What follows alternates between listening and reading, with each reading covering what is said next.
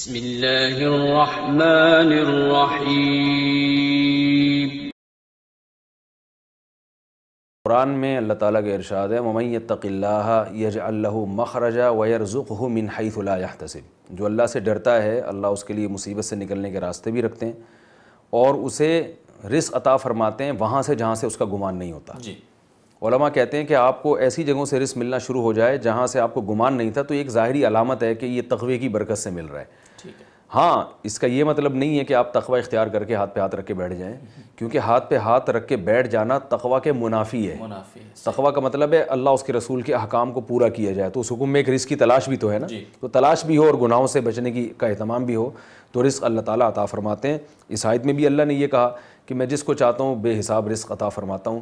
تو جیسے نیک اعمال والوں کو اللہ بے حساب رزق عطا فرمائیں گے جہاں اللہ نے اس کی مثال دی ہے تو گناہ سے بچنے والے نیک اعمال کرنے والے یقیناً اللہ ان کو بے حساب۔ حدیث میں اس کو دوسرے طریقے سے یوں بیان کیا گیا ہے کہ من کانت الآخرت ہمہ جا اللہ غنا فی قلبی۔ جو آخرت کو اپنا ہدف بناتا ہے اللہ اس کے دل میں غنا پیدا کر دیتا ہے۔ یعنی کچھ بھی نہیں ہوگا وہ سمجھے گا اللہ کا دیا بہت کچھ ہے۔ جی۔ پہلے دیکھ لینا لوگوں کے پاس کچھ بھی نہیں ہوتا تھا۔ لوگ کہتے تھے جب آپ ان سے بات کریں بھائی اللہ کا دیا بہت کچھ ہے۔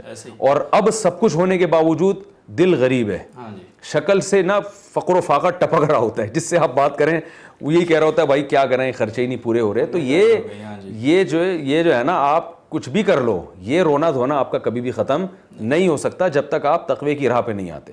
تو دل کا بڑا ہونا کہ آپ کو سکون وہ ملے جو مالداروں کو ملتا ہے۔ دل کی یہ کیفیت پیدا ہو جائے گی یہ تقوی کے بعد پیدا ہوگی۔ چاہے اللہ ظاہری طور پر دولت دے یا نہ دے۔ بعض دفعہ اللہ ظاہری طور پر بھی دے دیتے ہیں نواز دیتے ہیں بعض دفعہ نہیں دیتے لیکن دل میں سکون عطا کر دیتے ہیں۔